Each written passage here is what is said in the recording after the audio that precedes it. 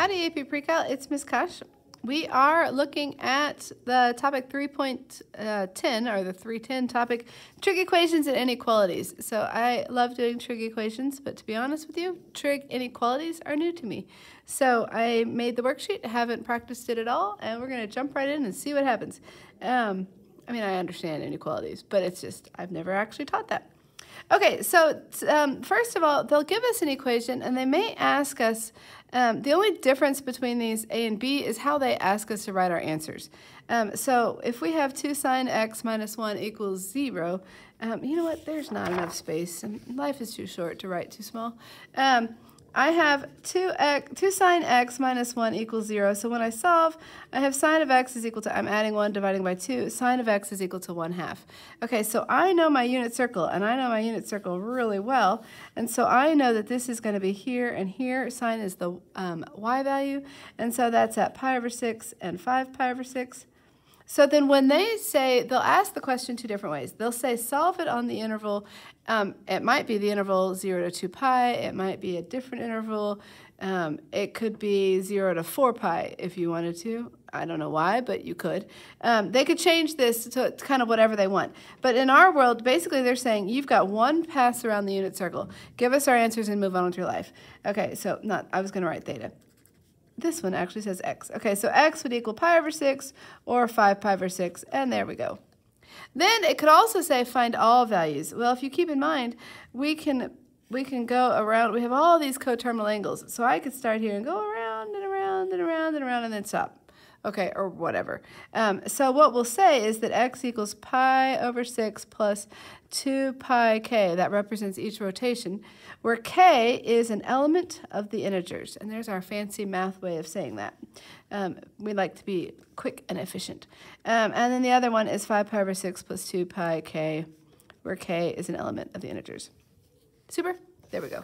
Okay, the next one, they're telling us tangent of, um, of x excuse me, tangent of x plus 1 is equal to 0. So tangent of x would equal negative 1. Tangent is the slope. Where is slope negative 1? Well, it's through here. This is my unit circle. And so this is 3 pi over 4 and 7 pi over 4. Notice I could get, I can add pi and keep going. Okay, so the first one says on the interval 0 to pi. So I'm going to go from 0 to pi, and the only answer that I have is 3 pi over 4. So this first one, x equals 3 pi over 4.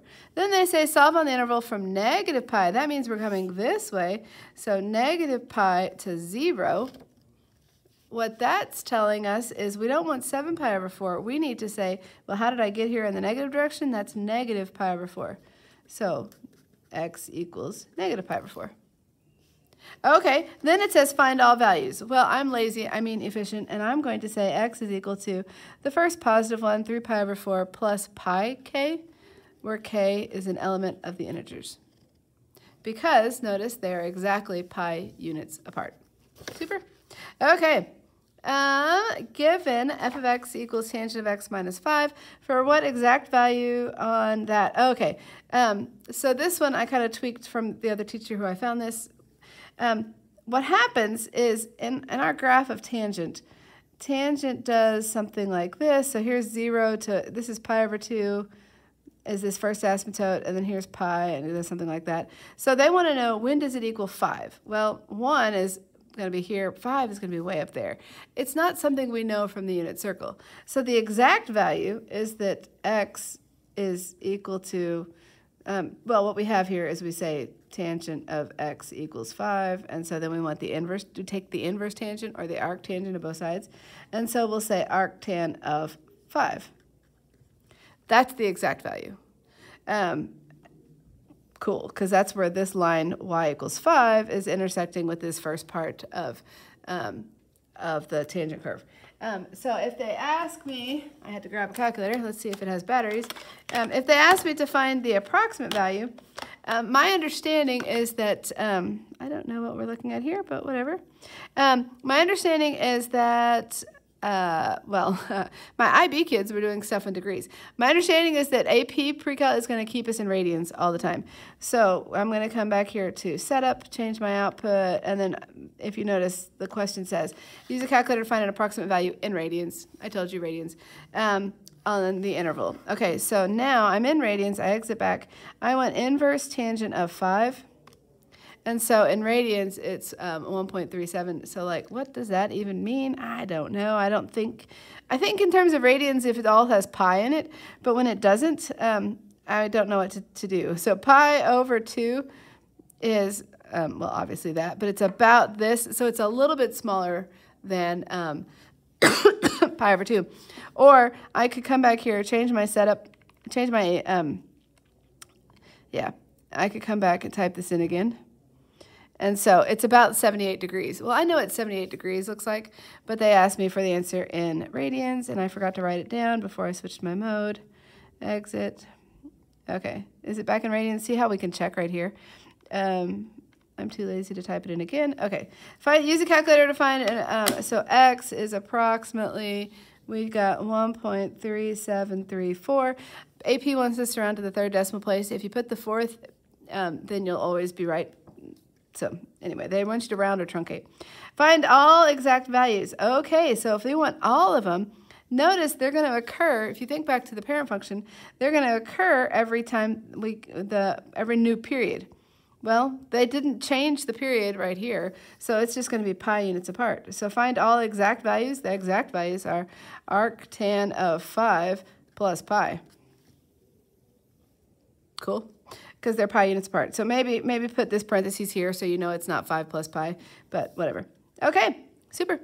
Um, the next one, find all solutions for 2 sine of 4x minus 1 equals 0. If this doesn't look familiar to you, then go back again. Look at this.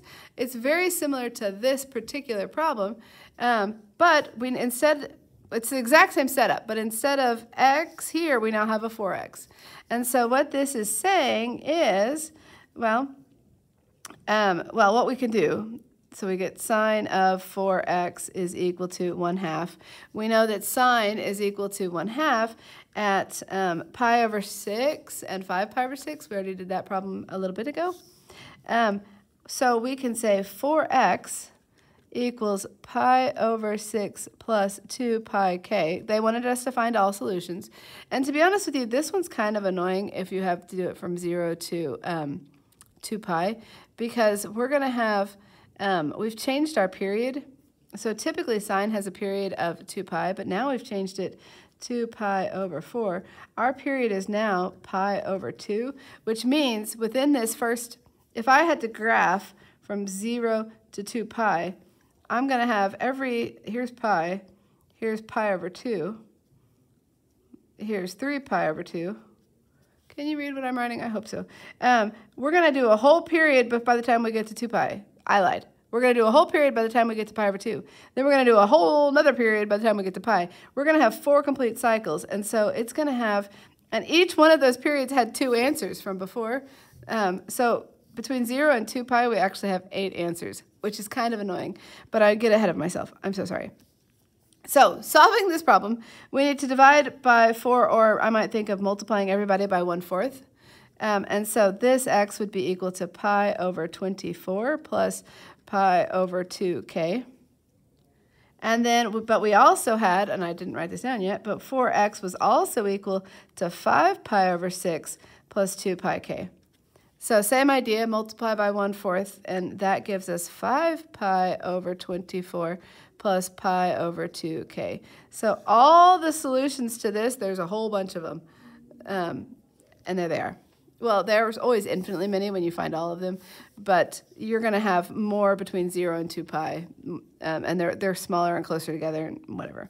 Okay, um, come back for the next video. That one was kind of long enough.